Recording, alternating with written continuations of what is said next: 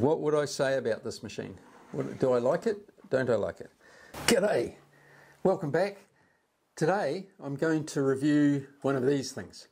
This is called an Instant Vap and, and it's uh, made in Hungary. It's designed to vaporize oxalic acid into hives for control of varroa mite. This is not a paid ad, it's not a paid review. In fact, I've not spoken to the company that makes this product at all.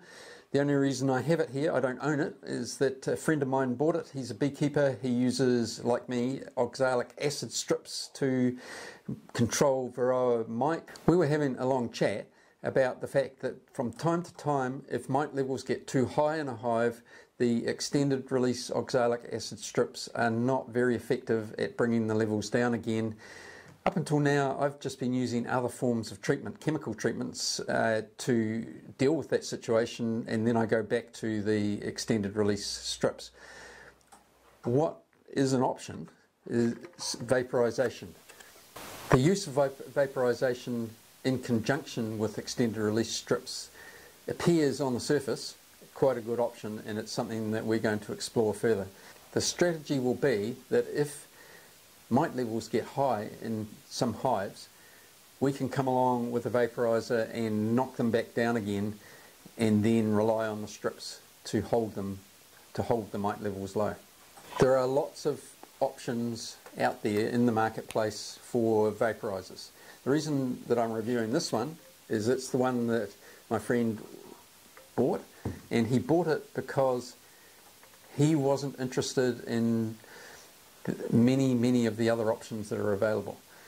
Vaporizers come in 12 volt versions uh, and mains electricity versions. I was going to say 240 volts, but of course in most, many countries they'll be 110 volts. The big drawback with those vaporizers is that you have to get the power to your apiary. You can do that if you're running 12 volt, you can run off a 12 volt battery. If you're running uh, uh, mains voltage, then you've got to have a generator or an inverter with you, and it, invi it involves uh, a lot of equipment, a lot of mucking around, cables. It's slow and it's cumbersome. In comparison, on paper, this thing appeared to be just the bee's knees because it runs on an 18 volt battery. You can it comes with uh, all different brands. This is a these are DeWalt batteries. If you want to know more about this product than what I tell you in this video, then I'll put a link in the description down below to the company that manufactures them. Like I said, they're a Hungary company and I have no links to them whatsoever. So this, uh, as I said, is the 18 volt model. It does come as a 12 volt model and a mains electricity model. It's equipped, this 18 volt version is equipped with a quick attachment on the bottom, so putting the battery in is very easy. It has dial on the back and it takes about three or four minutes. If I turn it on, you'll see the counter start to click up quite quickly. Two or three minutes to heat up. Probably the biggest and best feature of this is in comparison to some of the other ones that I've looked at is that it holds its temperature really well. When you put the oxalic acid in to vaporize it, the temperature actually, I'm going to flick that off again, the temperature actually only drops by about uh, 20 degrees. What's also good about this, because this, this is a lithium ion battery and it would be very easy out in the field to just keep running it and running it and running it and run that battery right down till it's dead flat. That's very, very bad for the battery.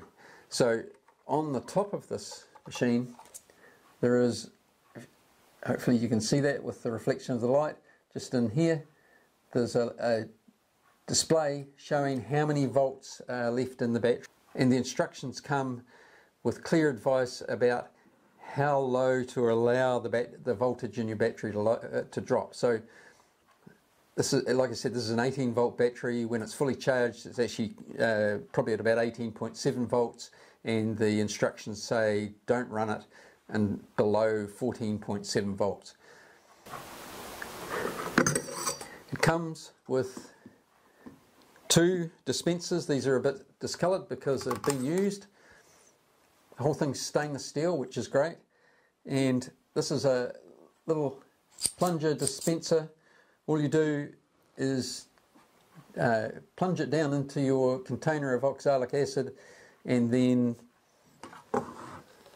once the machine's heated up you put that in the top you insert your spout into your into the front of your hive uh, some people recommend actually drilling a hole about that diameter in the front of the hive and then when you're not using it to vaporize the hive plugging it with a, a small round dowel like a golf tee or something like that.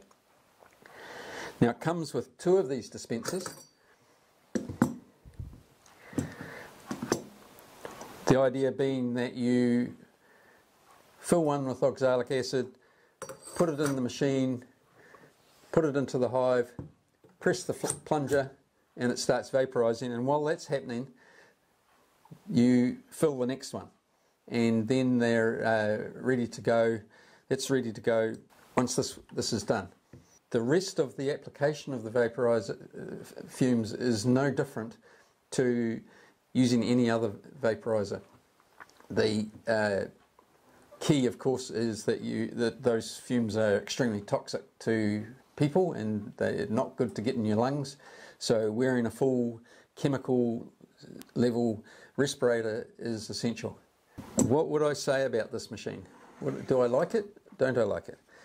I do like it. I really do like it. The the the pros are it's stainless steel. Um, the dispensing system. Actually, I didn't mention that. Uh, there's a little dial on the side there, and you can screw this end in and out and change the dose rate.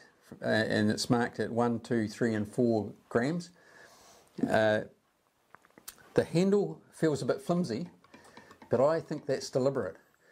One of the things that they warn against in the instructions is to not lean on the machine while it's being propped up by the spout. When, the, when it's in the hive and its, and its weight is being taken by that spout, it's designed to take that weight, but it's not designed to take your weight. And I think the flex in the handle is kind of a subliminal warning to the user not to be pushing down on it. So it works well, very effective. I might add that this is the second battery powered vaporizer that my friend has purchased. The first one was much, much cheaper and failed on the first try. The, the suppliers of it sent a, a replacement part. I fitted it for him and it failed again uh, it lasted a little bit longer. It lasted three or four doses and then it failed a second time. Conversely, this one has worked 100% the way it should work from day one with no issues. So those are the pluses. What's the minus? There's a major minus, and that is that this thing is quite spendy. The, uh, the link in the uh, description down below will take you to the website. When I looked at it, it was uh, the price was 350 something, let's say 360 euro. And then, of course, we're in New Zealand here, so we had to get it freighted here. Uh, and then, plus, I think it came with one battery, but realistically, if you've got a number of hives and you want to uh, do a lot of vaporization in a day, you would need extra batteries, and they're not cheap either. But having said that, that is completely offset, in my opinion, by the uh, huge inconvenience of having to run cables or, or, bring generators or all the things that are associated with mains voltage machines. Another negative, quite a minor negative because probably it wouldn't be an issue if you read the instructions properly, he says, uh, as someone who didn't, don't put it away with the battery in it because even though it's turned off, you see the dial's still running. I did that the first time I played with it, came back the next day and the battery was dead flat. And as I've already said to you, running those batteries dead flat isn't good for them. So uh, pull the battery out before you put it away. So, what's the conclusion? Well, I, I, suppose with any review, you have to answer the question would you buy it? And I've got a complicated answer to that question. I'm not going to buy one because I've actually got the offer of using this one when I need one. Uh, but yes, I would. Yes, I would definitely buy one of these. Out of 10 in the range of vaporizers that are out there for this specific purpose, I'd have to give this a 9 or a 9.5 out of 10. It looks like a fantastic product, it does what it's supposed to do. And then one last point Kamon Reynolds uses one, so it must be good. Thanks for watching.